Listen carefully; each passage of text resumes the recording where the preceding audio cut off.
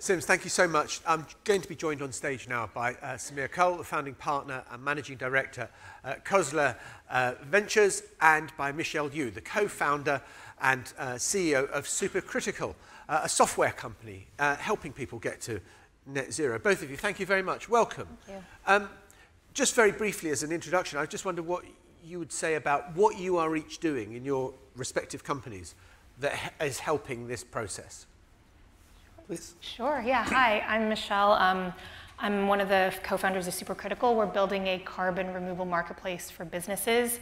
And the reason why we've chosen to focus on carbon removal is in order to hit net zero as a planet by 2050, even if we re reduce our emissions, electrify everything, we need to remove 10 billion tons of carbon dioxide from the atmosphere annually. So There's no way of hitting net zero and staying below 1.5 degrees without it. These technologies, direct air capture is the best, best probably known example. Stack of fans absorbs CO2, sequesters it underground.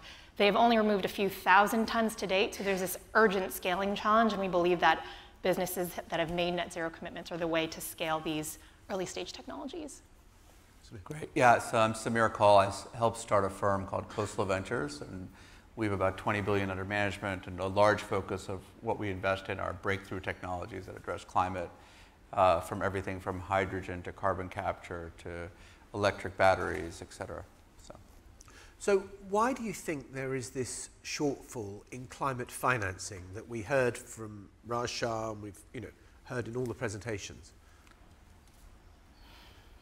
Um, no, look, look, I'll tell you, it, it's, it, every technology innovation we've seen, whether it was dot com and now we've seen in crypto, and I fear we'll see in AI as well, is it gets overhyped. Too much capital pours in, and then it disappoints investors, and then you go through these cold spells. And so, I mean, we were one of the early investors in clean tech from 06 to 010 and we got we did well on some companies, but the vast majority failed, and we made a lot of mistakes because it was the first time venture capital went into a new sector. And that, that happened in dot com, and everyone wrote off uh, the internet and said, I remember when we were raising funds in 2009, large institutional investors said, you know, venture had its run, it's kind of over, it's all buyouts, et cetera, et cetera. And they couldn't have been more wrong. Venture's been the best asset class the last decade by quite a margin. So I think investor, in, investors tend to follow herds and trends. And unfortunately, uh, Climate 1.0, save a few examples like Tesla and some, some other companies, was largely a disappointment. What, what we firmly believe, though, is that it's the second wave where you, in the analogy in dot .com would be the Ubers, the Airbnbs, the Squares, the Stripes, where you've learned your lessons and you've got a bunch more um, uh, people investing in the space. So I think I, I'm very, very bullish uh, are, we in the, are we there now? We are there now. And, and it's because um, you can always tell when a space is going to be very highly successful when you look at where are the young PhDs, where are the young entrepreneurs wanting to spend their time. And for about 10 years, no one would come into my office and say, hey, we want to work on uh, you know, climate or environment or sustainability. And now more than half of the people want to work in that area. And we have the benefit of now the space being in venture for over two decades, where we've learned a lot of lessons. Michelle.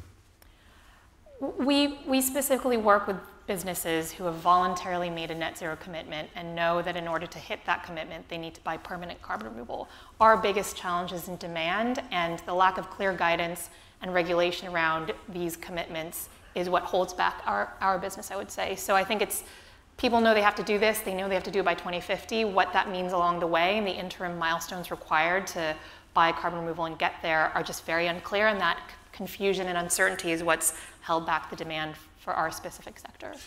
Well, I agree with Michelle there because eh, right now, carbon, direct air capture isn't affordable. And so what happens is that the large companies, the Amazons, and, and they'll take it out of their marketing budget and say, look, we'll spend a few million dollars and pay $700 a ton for carbon capture. That's just not a sustainable business. It has to be below $100 to do that. So how do you get there? That's where the private, uh, yeah. you're the expert, but the, that's where the government has to say, look, it's important enough for us that we have to set targets and set incentives to reach those targets. And they can be temporary Because eventually, as you scale, and everyone talks about scale, another reason why energy is hard, it's a massive market and it's massive scale. So it just takes longer to get to the price target. But when it does, it should be incredibly uh, lucrative for investors because the markets are massive. Um, so, if, and we've seen that with the Net Zero Act in Europe and the IRA bill in the United States, where we've now set targets for hydrogen, we've set targets for carbon, we've set targets for batteries and electric vehicles, and now you're seeing a lot more money pile in because you can see that here we have these targets out there, and yeah, we can make hydrogen for three dollars a kilogram. You know, we can capture carbon for X amount of money.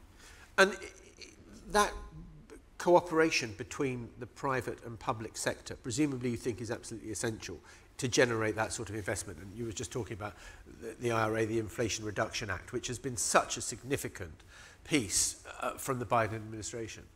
Yeah, it's absolutely critical. I mean, there's no better demand lever than regulation that forces companies to do the right thing. You know, we're, we're lucky to work with ambitious businesses that can afford a $500 a ton offset that want to do it because they can see how catalytic that demand signal is. But to get to gigaton scale, we can't rely on the voluntary carbon markets. And in, in what we do, there are conventional offsets that have very little impact, cost $5, $5 a ton, they're cheap because they don't do anything. And we're trying to sell something that's $100 a ton. If people don't understand the difference and don't know why they should tell the difference between these two things, they're just going to buy the cheaper thing. And, and that's where clear guidelines, policy can help make businesses do the right thing. I don't know whether you were here for the morning discussion, and I never thought I'd be bringing in the morning discussion about food safety and mm. into this afternoon's discussion. But you know, we had then Jamie Oliver saying, you know, regulation, and Henry Dimbleby saying, you can't just leave it to uh, the, the, the private sector to decide what the rules are. You need regulation to have this to make this happen. Well, look at the COVID vaccine. It's probably one of the best examples that we, I assume, everyone here benefited from. Was you had technology. Well, I'm not an RFK Jr. fan, so yes, I assume we all uh, assume we all have a stab in our arms. But um, but you know, the, Moderna decided to pivot their technology to make COVID vaccines, and the government said, "We'll buy them if you make them," and it, it was an incredibly uh, profitable and successful uh, partnership. And I think this, to me, climate. We've had three of the hottest days in the history of the Earth in the last few weeks. So why would people not view climate as global warming as an equally catastrophic potential for the for the world? Yeah, I think advanced market commitments in vaccines is exactly the, the model that many in carbon removal also look to. And similarly, the power purchase agreements and the long-term offtakes that help to scale renewables are how carbon removal also have to will also have to scale. And I think that the challenge with climate change is it's not evenly distributed, right? Like the hottest days in the world are in certain places at certain times, and we can read the headlines and forget about it. It's like a massive tragedy of the commons challenge, and we just need ambitious leaders that will mobilize and work together to make the right thing happen. We heard from Sims a moment ago about the importance that technology is going to play in all of this and technological innovation absolutely critical in tackling climate change. Are you seeing the solutions now being developed?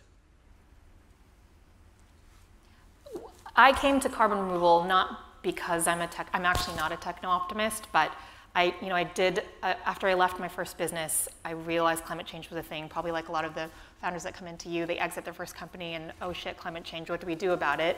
And after doing a lot of exploration and falling in love with trees and lots of other solutions, I realized that the fact of the matter is with the science is we don't have enough land on the planet to plant all the trees we need to absorb all the carbon dioxide. It has to be a technological solution. We don't have all the answers yet, but we don't have a choice but to invest in it. And I think that I do believe in you know, the power of human ingenuity. I look at how fast technologies have scaled in my lifetime, and so I can only, I can only bet that carbon will, will reach the same kind of scaling potential. It has to.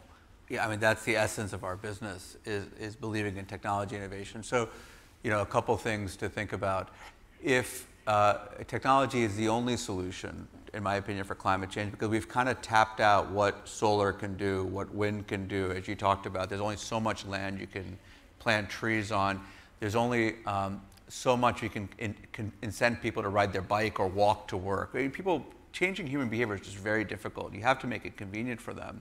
And so to me, um, you know, what limits, there are numbers saying we have to get to 25 million electric cars. What's one of the big limitations there is getting batteries, getting charging stations, getting, you know, you don't want to have a 300 mile range, it'd be great to have a 600 mile range. That's all going to come from technology innovation. So we're not there yet. We have to keep innovating. And, you're, and that's another thing that the government can do, just like they do for cancer moonshots or, you know, things in public health, is incent people to take that kind of risk go fund 10 projects uh, to get a thousand mile battery range. Or you know, we now have dozens of nuclear fusion companies funded by venture capitalists in the United States because Lawrence Berkeley finally showed that for the first time ever, fusion can produce more energy than it took to get the reaction started. That's what will drive these kind of changes. I mean, you said you're not a Robert F. Kennedy fan. I'm guessing I don't know what you view about Donald Trump, but Donald Trump says we don't need to worry about climate change because technology is going to supply the answer. So let's carry on doing what we're doing. You know, behavioral economics is a really interesting area of how you get people to change behavior. If people believe there is a simple solution in technology, does that encourage people to think, well, I can carry on driving. No, I, I, I, think not when it affects them personally. So th that's a great point. You know, there's so much debate in the United States about which is ridiculous, about climate change, about whether it matters or not. And my argument has always been, well, do you think your house is going to burn down? And most people say no. I said, but why do you get insurance for it? So even if you took a certain sliver of the budget and put it towards just in case, now obviously I believe in it, and then the government and governments, private public sectors have done amazing things when they work together to point this. You know, my second favorite prime minister from Great Britain, look what they did in World War II, how quickly they started the Richmond shipyard. You know, you know so, so uh, Can I just ask who your favorite one is? just the absence of doubt. I mean, I feel like, you know, ethnically it should be Rishi, but I'm, you know, I'm a guest of uh, Mr. Blair, so I think I'll, I'll stick with Tony for the next 25 minutes. But, um, but but, but think of what happened in World War II in this country, how quickly the warships were built because private and public sector worked together. This is as catastrophic as uh, a problem. And we just have to recognize it, not run from it, and then we'll solve it. Michelle, yeah, I, I love your point about human behavioral change because I feel that kind of a I meet a lot of young people who want to work in climate and they feel a lot of climate guilt and they try to take the actions upon themselves like stop flying or not eat meat. And these are, you know, great signals to our social circles about the right solutions, but the fact of the matter is we've got decades to get to gigaton scale across, you know, like massive scale across everything. That's not going to come by individuals hair shirting their way to climate solutions. It's just not going to. We saw with COVID, people stopped flying, people stopped buying things, emissions dropped by 7%. It's just simply not enough. So we have to bet on scaling these technologies to, to get there. Okay, uh, we've got about two minutes left. I'm going to uh, ask each of you a question which I reckon you could speak on for about an hour. But I'd like you to give me a one minute answer each about what is the change that you would like to see in the way the world is dealing with climate change. I'm going to give a very motivated answer. I mean, I, I believe that the lack of awareness around the need to scale carbon removal is really distressing. I think that everyone is rightly focused on reductions, but at this point in time, we've left it so late that we have to start scaling up removing carbon from the atmosphere as well. There's just no way of us, you know, staying alive as a species without it, and I'd love everyone to really grasp it and understand it and understand that it's twin targets that we need. Are you getting there? Do you think that people are beginning to understand it? Yeah, I think people are beginning to understand it. In the last two years of building supercritical, I've been surprised by how fast-paced the, the sector has been, but it's starting from such a tiny starting point and it needs to get to billions of tons. So whether it'll get there fast enough, I'm not, I'm not quite sure. Samir. I think we have to adopt, uh, adopt and embrace nuclear. I don't see how else we can get to the scale we need in the time we have without it. So nuclear is the, the, the simplest, most well, significant? It's, it, it's the, it should be the cheapest 24 7 uh, way to do it. And there are concerns with fission, but I think there's enough fusion projects that not allowing regulation to get in the way of slowing down the um, deployment of these technologies will be a big deal. Fascinating. Samir, Michelle, both of you. Thank you very much indeed. There'll be a short tea break now.